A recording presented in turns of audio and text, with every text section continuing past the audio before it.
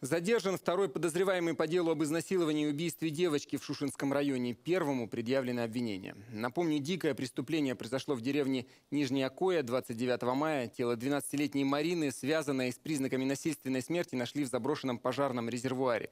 Сначала полиция задержала 25-летнего подозреваемого, который признался в преступлении. Ему предъявлено обвинение по статьям изнасилование, убийство и насильственные действия сексуального характера.